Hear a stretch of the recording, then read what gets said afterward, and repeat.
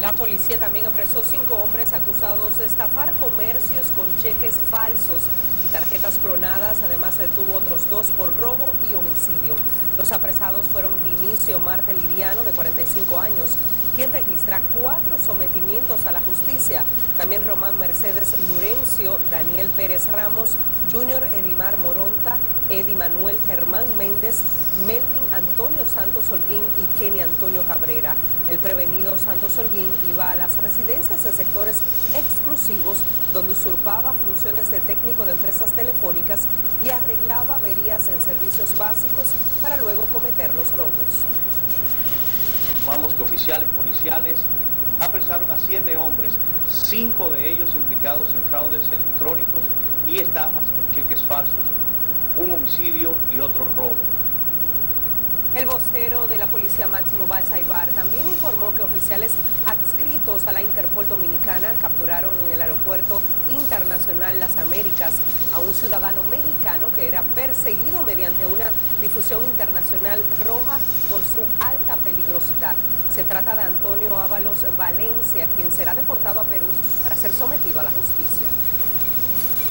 La ausencia de patrullaje policial sumerge en una ola de robos y atracos a mano armada a residentes del ensanche Quisqueya y el Evaristo Morales. Rostani Zapata presenta el temor que padecen los moradores de esos sectores.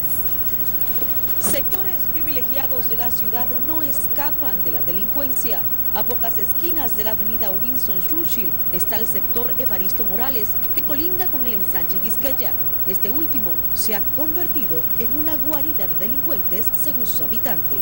Y ah, ocurren atracos todas horas del día. Mayormente en la zona yo tengo tallercito en la 109. Por ahí no se puede transitar.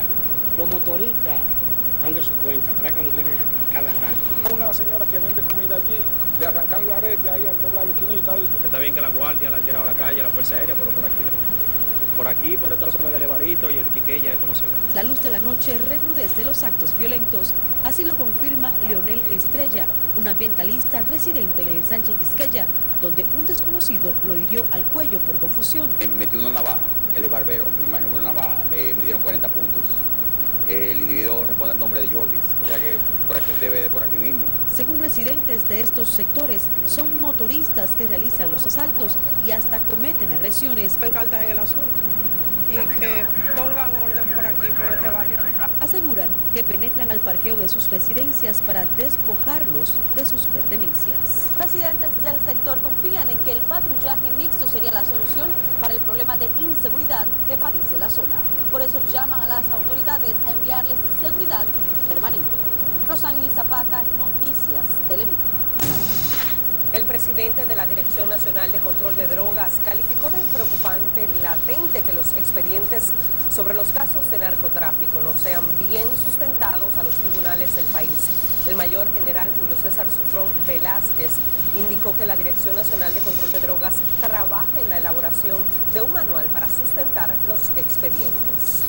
Manual de investigación para sustentar conjuntamente con la Dirección Jurídica del Ministerio Público, que nuestros investigadores tengan la capacidad de reunir los elementos de prueba suficientes conjuntamente con lo que es la cadena custodia de la medida. Eso debe ser una preocupación constante de todas las autoridades a fin de eficientizar eh, este tema. El mayor general Julio César Sufrón habló luego de entrevistarse con la fiscal del Distrito Nacional Jenny Berenice Reynoso y anunció que se reunirá con todas las autoridades judiciales del país. Bueno, los jefes de las Fuerzas Armadas y de la Policía Nacional se reunieron para analizar el plan de seguridad ciudadana dispuesto por el presidente Danilo Medina, contemplando la posibilidad de incorporar más militares en el patrullaje mixto. El almirante Sigfrido Pared Pérez y el mayor general Manuel Castro Silverio se reunieron en el Ministerio de las Fuerzas Armadas a puertas cerradas. Al término del encuentro, el jefe de la Policía Nacional indicó que en la reunión se coordinaron planes de acciones conjuntamente con las Fuerzas Armadas.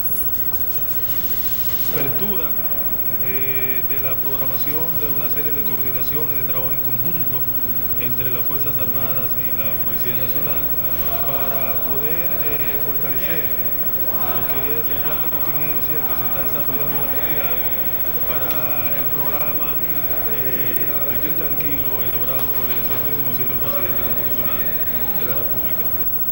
El jefe de la policía, mayor general Manuel Castro Castillo, informó que también coordinará con las autoridades judiciales para que se endurezcan las penas contra las personas involucradas en hechos delictivos.